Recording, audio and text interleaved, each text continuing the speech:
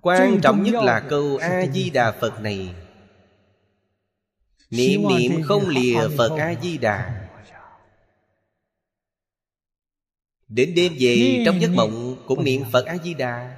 Như vậy trong tâm thật sự có Phật A-di-đà. Miệng niệm Phật A-di-đà Trong tâm không có Phật A-di-đà Như vậy trong mộng Không phải Phật A-di-đà Trong mộng là A-di-đà Phật.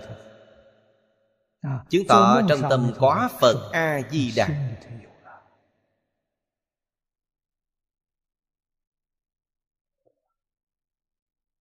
Người thế gian chúng ta Trong tâm nằm mộng Thường mộng thấy gia thân quyến thuộc của mình. Đó là gì? Vì trong tâm họ luôn có Họ không mộng thấy Phật Bồ Tát. Đối với Phật Bồ Tát rất xa lạ Rất xa xôi.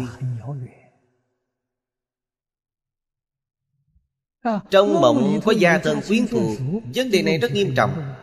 Vì sao vậy? Sau khi chết lại đoàn tụ với họ. Họ vào đường ngoại quỷ Ta cũng đến ngạ quỷ để đoàn tụ. Họ vào địa ngục ta cũng vào địa ngục đoàn tụ. Điều này rất phiền phức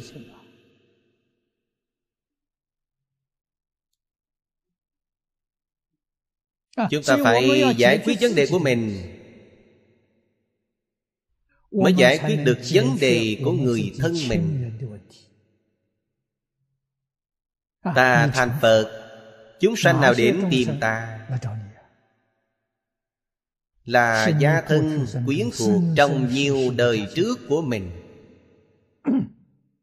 Họ có duyên với chúng ta.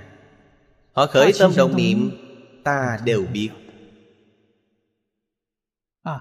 Khởi tâm động niệm phát ra tin tức Ta hoàn toàn nhận được. Biết hoàn cảnh hiện tại của họ ra sao.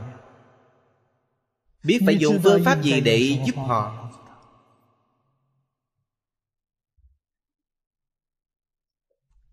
Họ có ý niệm xuất ly chăng? Có nguyện vọng xuất ly Ta có thể giúp họ Cầu sanh tịnh độ. Còn như không có ý niệm này Ta giúp họ xa lìa ác đạo.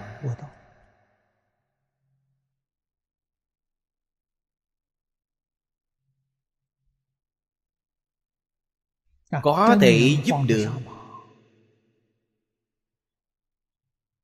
Nhất định phải thành tựu mình trước Mới có thể thành tựu gia thân quyến thuộc của mình. Thành tựu người có duyên Thành tựu tất cả chúng sanh.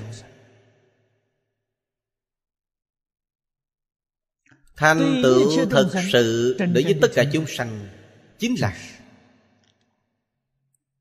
Thị hiện làm gương. Làm tấm gương tốt cho mọi người noi theo Có duyên hay không đều nhìn thấy. Họ bị cảm động. Và cũng đã kết duyên với ta.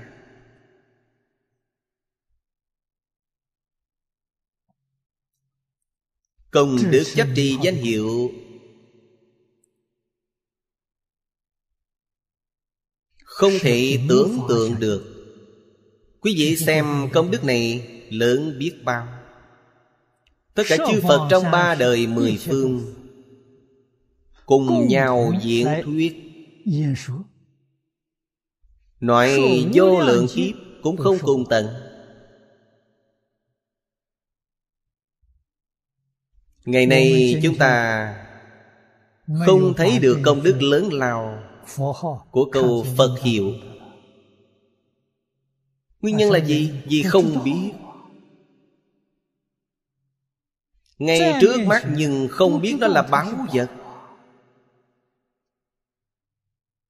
Không biết lợi ích của nó lớn đến nhường nào.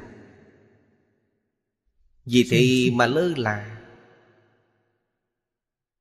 Có thích chăng? Thích Muốn giảng sanh chăng? Muốn Nhưng không đặt câu danh hiệu này lên hàng đầu. Muốn đến thế giới cực lạc Nhưng cũng không muốn rời xa thế gian này.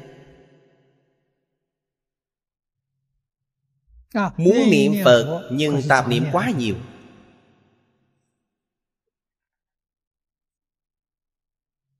Đây là hiện tượng rất phổ biến của người niệm Phật. Vì công phu niệm Phật không đắc lực